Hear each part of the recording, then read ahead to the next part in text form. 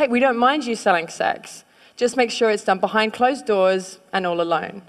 They're not safe at the moment, and I don't think decriminalising is going to make them any safer. Sex workers' rights are women's rights. If it is legalised, then the police can better serve and protect women on the streets. It's fine.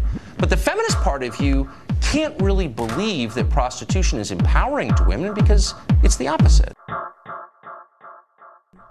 Sex. It's been around for as long as we have. Sex work is the exchange of sexual services. It is estimated that there are over 70,000 sex workers in the UK alone. Many of those reside in Brighton.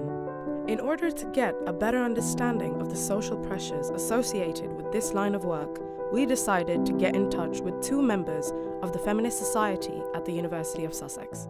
I believe that sex is connected to love and intimacy, so whenever somebody has sex for work, it's considered unethical and wrong. I kind of feel the same, yeah. I feel we're a conservative Christian country, or at least that's where our kind of heritage is from. So we inherit their ideologies that premarital sex is bad and having sex with someone other than your partner at any point in your life is, is bad. Uh, in a similar way to the fact that university students take drugs, it's like people are going to do it and you're just excluding them and in general making it more dangerous for them by never talking about it, never giving people the ability to talk about it. To directly understand what the public's opinion of the sex industry was, I went to the University of Sussex to see what the members of the uni thought.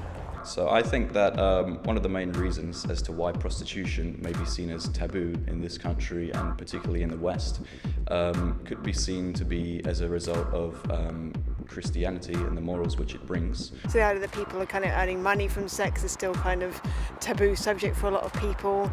And again, there's often the sort of second wave feminist argument that women, it's predominantly women who are sex workers. I guess you could say that it kind of treats women as a kind of tools of patriarchy in a sense. You know, sex before marriage or sex outside marriage is a sin, Bible-wise. So sex workers are looked down because of that. Yeah. I wanted to understand the perspective of somebody that has been part of this industry. To help protect her identity, we have used an actress to express her opinions. I really needed uh, to make my rent money for university. I tried loads of other jobs, but it just wasn't making enough for me. Um, so I resorted to sex work.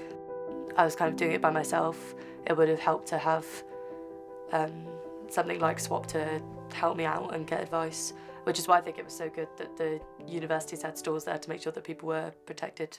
Swap recently put up stalls in Brighton University and the University of Sussex. Arguments were made that it was promoting sex work and it was showing students that it was an option for them. Do you agree with that statement? I feel like they had the right intentions almost, like they, it seems that the stall was made just to promote awareness of this, but they definitely didn't do it in the correct way. Like there's, on their tweet, they, they encouraged it, and they said, top up your tuition fees, which is a terrible thing to say, it shouldn't really encourage things like that. So yeah, it seems like they wanted to do the right thing, but they just didn't do the right thing. They ended up going in the complete opposite direction to what they seemingly wanted to. In my opinion, awareness is important, of course, and social acceptance, but if this job remains illegal, I don't think much will change.